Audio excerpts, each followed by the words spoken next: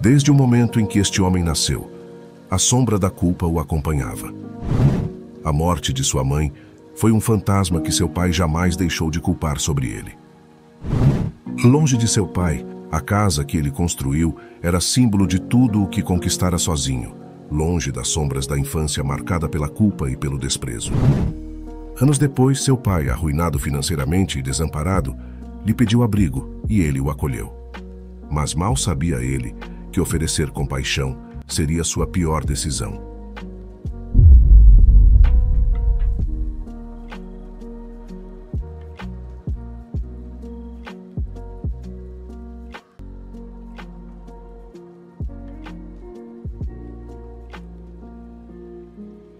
Deixei meu pai e sua nova esposa ficarem na minha casa porque ele estava passando por dificuldades financeiras. Mas, apenas um mês depois, a esposa dele me chamou para uma conversa para tentar me convencer a pagar aluguel. Minha vida sempre foi difícil desde o momento em que nasci. Veja, minha mãe faleceu durante o parto no hospital. Fui então criado pelo meu pai, que de alguma forma me culpava, literalmente um bebê, pela morte prematura de sua esposa. Durante toda a minha infância, não houve um único dia em nossa casa em que meu pai não me lembrasse, de forma dura, que eu era a razão pela qual minha mãe havia partido deste mundo. Ele constantemente me dizia como meu nascimento havia tirado dele a pessoa que ele mais amava, e como ele nunca quis realmente que eu existisse. Ele apontava que, por minha vida ter vindo a um custo tão alto, eu precisava me esforçar muito e estar à altura disso, caso contrário, a morte da minha mãe teria sido em vão. Como você pode imaginar, ouvir essas palavras duras quando criança foi devastador. Eu era muito jovem para entender completamente as complexidades do luto, da perda e da raiva. Eu também precisava da minha mãe, mas ela se foi, e o único pai que me restava me tratava como se eu fosse o problema. Meu pai, que deveria ser meu protetor, meu guia, minha fonte de conforto, em vez disso se tornou aquele que constantemente me lembrava que eu não era desejado em sua vida, que minha existência era uma maldição. Crescer nesse ambiente foi incrivelmente difícil. Muitas vezes me sentia culpado apenas por existir e respirar, Houve momentos em que eu desesperadamente queria falar com ele, dizer o quanto suas palavras me machucavam, como me faziam sentir que eu não pertencia nem mesmo na minha própria casa, mas o medo me mantinha em silêncio. E nas poucas vezes em que tentei falar, fui recebido com mais amargura e raiva. O resultado foi uma infância marcada por um profundo sentimento de solidão e isolamento. Enquanto outras crianças tinham pais que as apoiavam, que as confortavam quando estavam tristes e as faziam sentir-se seguras, eu sentia que andava constantemente em ovos, tentando evitar provocar mais ressentimento do meu pai em relação a mim. Não era apenas a falta de amor que doía, mas a presença de tanta raiva e culpa direcionada à parte de mim que eu não podia mudar, o simples fato de que estava vivo. Apesar de tudo, eu tentava entender a dor do meu pai. Eu sabia que perder minha mãe o havia despedaçado, e que ele nunca se recuperou totalmente dessa perda, mas isso não tornava mais fácil suportar o peso de suas palavras. Eu era apenas uma criança tentando encontrar meu lugar em um mundo frio e hostil. E ainda assim, apesar de toda a dor, no fundo, eu ainda ansiava pela aprovação dele, por seu amor, por seu reconhecimento. Sempre tive esperança de que, apesar de tudo, eu pudesse de alguma forma fazer meu pai sentir orgulho de mim.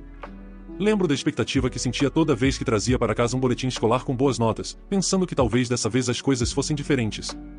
Eu ia até ele cheio de empolgação, ansioso para mostrar o que tinha conquistado. Esperando um sorriso, uma palavra de incentivo, qualquer coisa que me fizesse sentir que eu era suficiente aos olhos dele.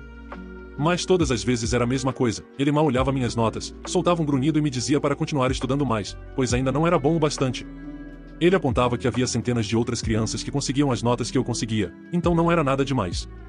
Em vez de orgulho ou aprovação, eu recebia a indiferença e a lembrança constante de que eu não estava atendendo às expectativas dele. Não importava o quão bem eu fosse, nunca era o suficiente para ele. Não era só na escola que eu sentia sua desaprovação, Sempre que eu queria fazer algo fora da escola, como praticar esportes ou participar de qualquer atividade com amigos, ele imediatamente cortava. Ele dizia que a única coisa na qual eu deveria me concentrar era nos estudos, para que eu pudesse sair de sua casa o mais rápido possível. Essas palavras doíam, lembrando-me que eu era mais um fardo para ele do que um filho para ser amado e cuidado. Meus amigos falavam sobre como seus pais os incentivavam a explorar seus interesses e aproveitar a infância, mas para mim, não havia esse apoio. Eu era constantemente lembrado de que era apenas um hóspede na casa dele, e que precisava fazer o que me mandavam ou corria o risco de ser expulso. Os finais de semana, que deveriam ser momentos para relaxar ou me divertir com os amigos, não eram diferentes. Se eu pedia para sair ou passar um tempo com os amigos, ele começava a falar sobre como eu estava desperdiçando o dinheiro dele. Mesmo quando tudo o que eu queria era algo simples, como visitar a casa de um amigo ou ir ao parque. Ele começava uma palestra sobre o quanto ele trabalhava duro para me manter na escola, e como eu não tinha direito de desperdiçar tempo ou recursos com amizades. Era como se qualquer coisa que me trouxesse alegria ou um senso de normalidade fosse automaticamente considerada indigna ou fútil por ele. Lembro-me de uma das memórias mais dolorosas, que foi como ele reagiu ao meu aniversário de 15 anos. A maioria das crianças aguarda seus aniversários com empolgação, planejando festas ou encontros com amigos, mas para mim, era um dia cheio de apreensão todos os anos. Ele não gostava que eu comemorasse meus aniversários, mas aquele ano pensei que seria diferente. Queria sair para assistir a um filme com meus amigos e comer uma pizza. Quando finalmente tive coragem de pedir um pouco de dinheiro, ele explodiu. Ele gritou e disse que eu não tinha direito de comemorar a data, pois era também o dia em que minha mãe faleceu. Ele deixou claro que meu aniversário sempre seria o pior dia do ano para ele, e que eu nunca deveria sequer pensar em aproveitar. Como resultado, nunca comemorei com meus amigos. Como você pode imaginar, com o tempo, todas essas experiências repetidas me ensinaram que meu pai claramente me odiava e não me queria por perto. A rejeição e as críticas constantes pesaram sobre mim, me fazendo sentir que estava sempre andando sobre gelo fino, tentando não fazer nada que provocasse sua raiva ou desaprovação. Aos poucos, aprendi a guardar minhas esperanças e sonhos para mim mesmo, Parei de esperar aprovação ou incentivo dele, porque sabia que isso só levaria à decepção. Fiz o meu melhor para ser forte por mim mesmo e foquei toda a minha energia em tirar boas notas para poder sair da casa do meu pai. No final, todo o trabalho duro, perseverança e determinação que coloquei nos meus estudos finalmente valeram a pena. Lembro-me do momento em que recebi minha carta de aceitação de uma universidade de ponta, com uma bolsa de estudos completa. Foi uma mistura de alívio e orgulho. Eu finalmente estava saindo de casa, longe do controle opressivo do meu pai, e iniciando um novo capítulo da minha vida, onde poderia viver sob meus próprios termos. Sair de casa foi como se um grande peso tivesse sido tirado dos meus ombros. Pela primeira vez na vida, eu estava verdadeiramente livre. Aqueles quatro anos de faculdade foram alguns dos melhores dias da minha vida. Foi um período de liberdade, crescimento e alegria. Eu finalmente podia viver como um jovem adulto normal, experimentando todas as coisas que estavam fora do meu alcance por tanto tempo. Meu pai não tinha mais controle sobre mim, embora ele tentasse estender sua influência mesmo à distância, eu não o escutava mais. Já tinha passado tempo suficiente da minha vida sob seu domínio, e agora era minha vez de tomar minhas próprias decisões, construir a vida que eu queria para mim. Apesar de toda a liberdade e da diversão da vida universitária, eu não perdi de vista meus objetivos. Mantive minhas notas altas, determinado a aproveitar ao máximo a oportunidade que tanto me esforcei para conseguir. Mas também me certifiquei de aproveitar e experimentar tudo o que a faculdade tinha a oferecer, Fui a festas, entrei em clubes, fiz novos amigos, segui meus hobbies e finalmente comecei a viver a vida do jeito que sempre imaginei que poderia ser. Foi durante esse tempo que conheci minha namorada, Sheila. Conhecê-la foi uma das coisas mais inesperadas, porém maravilhosas que aconteceram na faculdade. Desde o começo, havia algo em Sheila que me atraía. Somos ambos muito parecidos, ambiciosos, determinados e focados em construir nossas carreiras. Mas, além disso, o que realmente tornou nosso relacionamento especial foi a maneira como nos conectamos em um nível mais profundo. Sheila me entendia de uma forma que ninguém mais entendia. Uma das coisas que mais amo nela é como podemos ficar juntos por horas sem a necessidade de preencher o silêncio com palavras. Ela me permite ficar imerso em meus pensamentos, algo incrivelmente raro de se encontrar em um relacionamento. Com Sheila, nunca me sinto pressionado a ser nada além de eu mesmo. Aproveitamos a companhia um do outro, seja falando sobre nossos sonhos e objetivos ou simplesmente sentados lado a lado, confortáveis no nosso silêncio. Sheila foi a primeira pessoa na minha vida que realmente me fez sentir que eu não precisava carregar o peso da culpa que carreguei por tantos anos. Ela enxergou a dor pela qual eu estava passando, uma dor que se tornou tão constante em minha vida que eu quase não a reconhecia como algo anormal. Sheila apontou como era errado meu pai ter me culpado pela morte da minha mãe, e como nenhuma criança deveria ser tratada assim. Ela me incentivou a buscar terapia, algo que até então eu nunca havia realmente considerado. As palavras do meu pai estavam tão profundamente enraizadas em minha mente que eu nem percebia que havia uma maneira de escapar de sua influência. Ir à terapia foi uma das experiências mais transformadoras da minha vida. Não foi fácil no início, confrontar a realidade da minha criação, reconhecer o trauma que suportei e aprender a desconstruir as crenças tóxicas que internalizei exigiu muita coragem e esforço. A terapia abriu meus olhos de uma forma que nada mais havia feito. Me permitiu entender o quanto o pensamento do meu pai era falho e o quanto eu merecia melhor. Aprendi aos poucos que eu não era culpado pela morte da minha mãe, e que a raiva e a amargura do meu pai eram problemas dele, não meus. Quando comecei a me curar, lembro que comecei a ficar cada vez mais com raiva do meu pai. Era como se todo o ressentimento que eu havia enterrado profundamente finalmente estivesse vindo à tona. Passei tantos anos tentando ganhar sua aprovação, tentando ser o filho que ele queria, enquanto carregava a culpa que ele colocou em meus ombros. Mas agora, eu percebia que nada disso era minha responsabilidade, e que ele havia me sobrecarregado injusta e cruelmente com sua dor e raiva. Essa raiva dificultou manter qualquer tipo de relacionamento com ele durante meus anos de faculdade. Mal conversávamos, e quando falávamos, as conversas eram curtas e intensas. Eu respondia de forma ríspida, incapaz de esconder a amargura em minha voz, e tinha pouca paciência para suas tentativas de controlar ou criticar. Houve uma vez em que finalmente o confrontei sobre tudo. Não foi algo planejado, simplesmente saiu em um momento de frustração acumulada. Contei a ele sobre todos os anos em que ele me culpou pela morte da minha mãe. Como suas palavras e ações afetaram profundamente minha saúde mental, e como eu não permitiria mais que ele fizesse isso comigo. Deixei claro que estava cansado de ser o bode expiatório, e que merecia ser tratado com respeito e dignidade, caso contrário, eu o cortaria permanentemente da minha vida. Pela primeira vez, ele não teve nada a dizer. Não se desculpou, como eu esperava, mas também não negou o que eu estava dizendo. Depois dessa conversa, notei uma mudança na maneira como meu pai interagia comigo. Ele parecia tentar ser mais gentil, menos duro quando falava comigo. Era como se ele estivesse se esforçando para mudar, para ser mais considerado com meus sentimentos. Mas, apesar disso, nosso relacionamento continuou tenso. Os anos de dor e ressentimento não podiam ser apagados com essa mudança. Apreciei a pequena alteração em seu comportamento, mas o dano que ele causou precisaria de muito mais para reparar o relacionamento, se é que poderia ser reparado. Ao longo dos anos, embora meu relacionamento com meu pai tenha permanecido azedo, eu não sinto mais o mesmo nível de raiva ou culpa de antes. Aos poucos, aceitei que, embora eu não possa mudar o passado, posso controlar como permito que ele afete meu futuro. Claro, o apoio e o incentivo de Sheila desempenharam um papel enorme nessa caminho, e sou imensamente grato a ela por me ajudar a ver que sou digno de amor, respeito e felicidade. Recentemente, meu pai se casou com sua namorada, Maria. Foi um casamento pequeno e íntimo, e apesar de tudo o que aconteceu entre nós ao longo dos anos, decidi comparecer ao evento junto com minha namorada. Queria mostrar meu apoio e desejar-lhes o melhor enquanto começavam esse novo capítulo de suas vidas juntos. Fiquei feliz por meu pai e pensei que, talvez, agora que estava casado, ele mudasse para melhor, no entanto, apenas um mês após o casamento, meu pai me ligou, soando desesperado. Ele havia tomado algumas decisões financeiras ruins e estava lutando para pagar as contas. Contou que não conseguia pagar o aluguel há alguns meses e que agora enfrentava um despejo iminente. Ele disse que não podia contar isso para sua esposa, pois isso geraria uma briga entre eles. A primeira coisa que ele pediu foi se eu poderia pagar seu aluguel. Ao ouvir isso, recusei imediatamente, mesmo tendo condições de fazê-lo. Eu não queria ser usado como uma rede de segurança financeira, especialmente considerando nosso histórico complicado. Trabalhei duro para construir a vida que tenho e não queria criar um precedente onde ele pudesse recorrer a mim para dinheiro sempre que algo desse errado. Mas depois de conversar com Sheila, comecei a me sentir culpado. Não consegui afastar a sensação de que talvez estivesse sendo muito duro, que apesar de tudo, ele ainda era meu pai e talvez precisasse de ajuda genuinamente.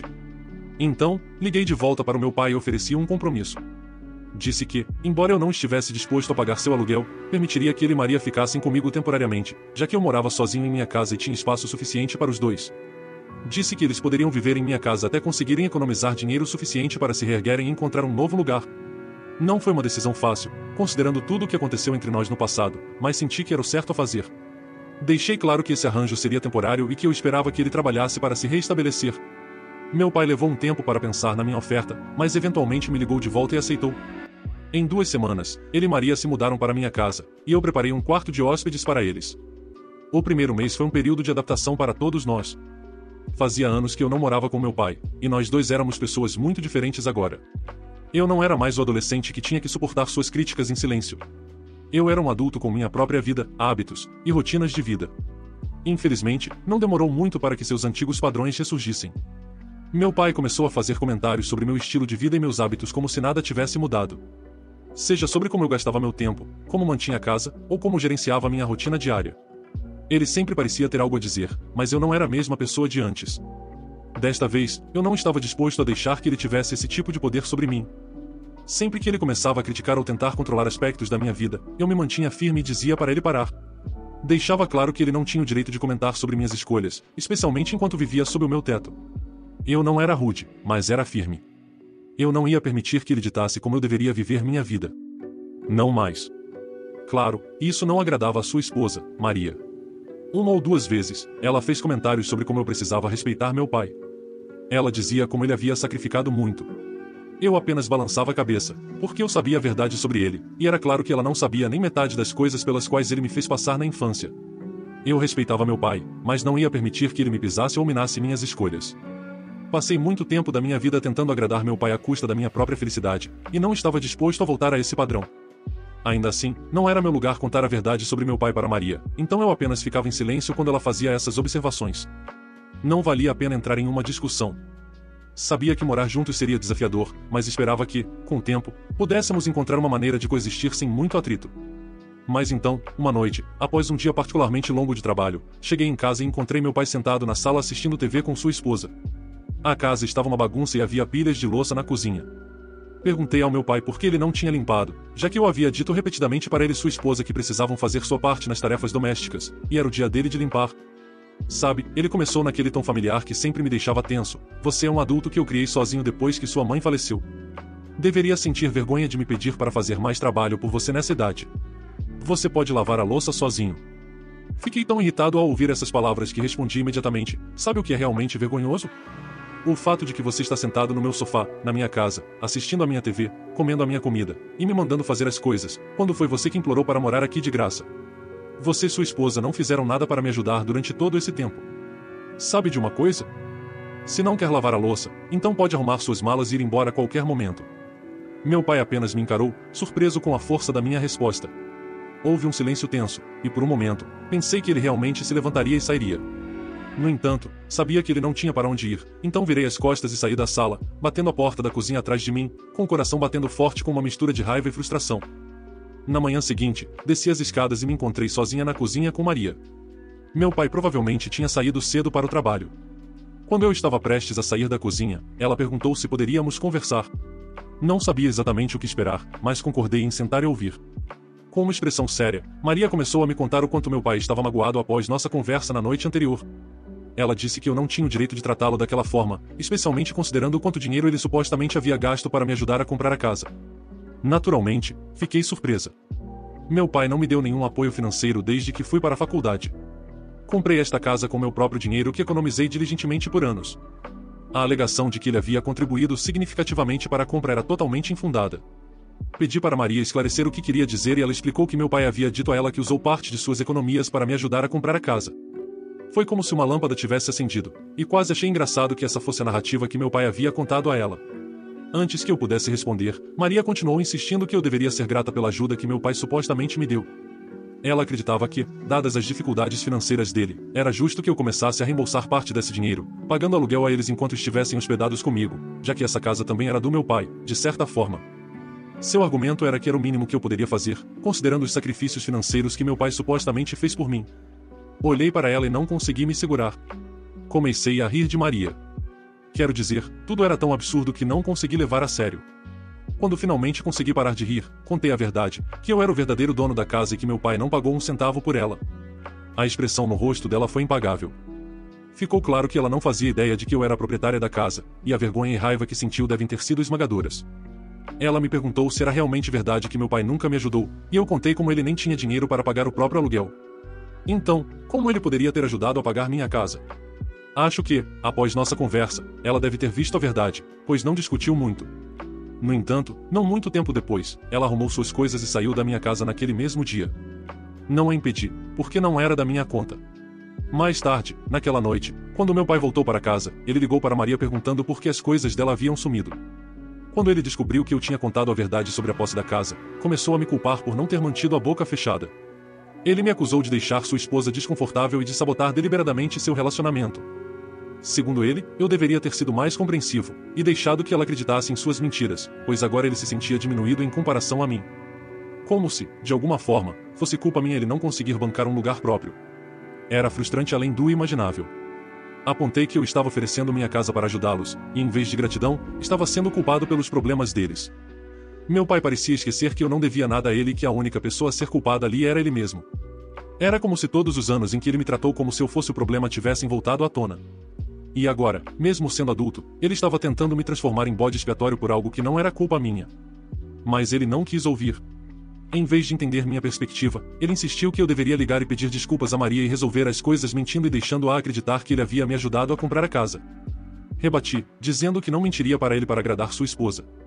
Estava exausta das constantes manipulações e culpas, e cheguei ao meu limite. Por fim, disse ao meu pai que não aguentava mais tê-lo por perto, pois suas brigas constantes estavam afetando minha saúde mental. Pedi que ele arrumasse suas coisas e se mudasse no dia seguinte. Foi uma decisão que tomei com o coração pesado, mas eu precisava estabelecer e manter limites para proteger minha paz e sanidade. Meu pai argumentou que não tinha para onde ir e implorou por mais tempo, mas naquele momento não consegui me importar com suas desculpas ou situação. Mantive minha decisão e fiz meu pai se mudar na manhã seguinte. Desde então, meu pai tem me procurado, reclamando que arruinei sua vida e seu casamento, já que Maria se recusa a falar com ele. Ele continua me culpando pela situação com Maria e diz que um bom filho nunca expulsaria os pais de casa. Estou errado por expulsar meu pai? Atualização 1 Fico feliz que todos entendam o quanto de trauma meu pai me causou ao longo dos anos. Muitas pessoas me aconselharam a entrar em contato com Maria e contar a verdade sobre minha infância, já que ela pode não estar ciente de quem meu pai realmente é. Até agora, eu preferia não me envolver em seus assuntos, mas acredito que é importante que ela saiba a realidade, já que ele pode ter mentido para ela sobre outras coisas. Planejo entrar em contato com ela e ter uma conversa cara a cara. Atualização 2 Faz uma semana desde minha última atualização. Finalmente consegui sentar com Maria e conversar sobre tudo. Acontece que ela não tinha ideia de como foi minha infância. Contei a ela sobre as culpas e o trauma emocional que passei e como isso me afetou. Ela parecia chocada e admitiu que meu pai havia pintado um quadro completamente diferente, retratando-se como um pai solteiro em dificuldades que sacrificou tudo pelo filho. Não pude deixar de balançar a cabeça em descrença.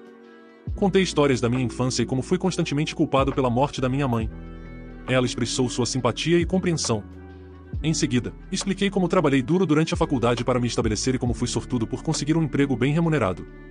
Isso me permitiu economizar dinheiro e me mudar para um lugar só meu.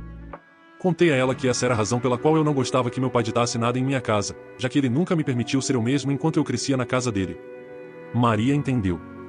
Ela então revelou que, na verdade, meu pai tinha perdido todo o dinheiro com jogos de azar, e não havia me contado isso antes porque ele estava muito envergonhado e queria manter em segredo. Ela explicou que, quando meu pai sugeriu pela primeira vez que se mudassem para minha casa, ela recusou de imediato.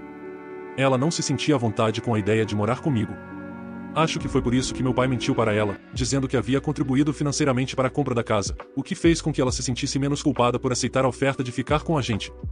No entanto, quando ela descobriu por mim que as alegações dele sobre ter ajudado com a casa eram completamente falsas, e apenas mais uma tática de manipulação para conseguir o que queria, ela ficou arrasada.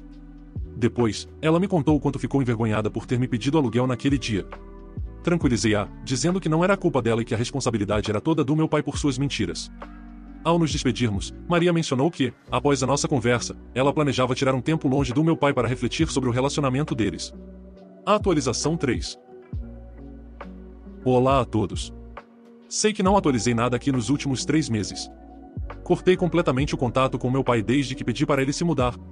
Não foi uma escolha fácil, mas foi necessária para minha saúde mental e emocional.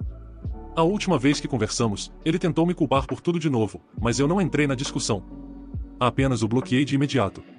Desde então, tenho que admitir que me sinto muito melhor.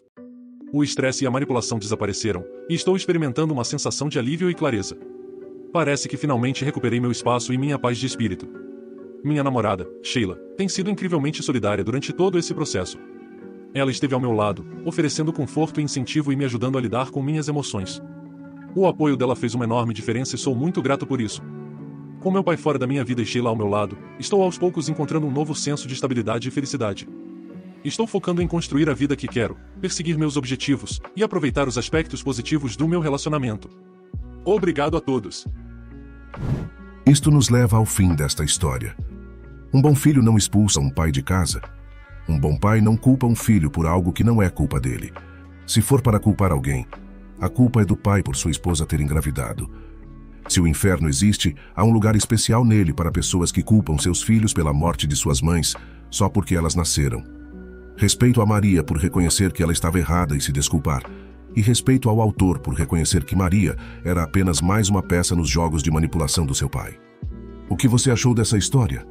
Qual seria seu conselho para o autor? Me deixe saber nos comentários. Se você gostou desse vídeo, demonstre seu apoio ao canal deixando seu like e um comentário. E considere se tornar um membro do canal clicando aqui embaixo no Seja Membro. Aos membros do canal, Dog do Reddit, Clovis Fontela, Miqueia Souza, Errol84, Supervisor de Batata Frita, Fernando Farias, Antônia Ferreira, Indy 3212, User com Z, Mystic Mata 007, Henrique Quevedo. Muito obrigado pelo apoio e obrigado a todos por assistirem até aqui.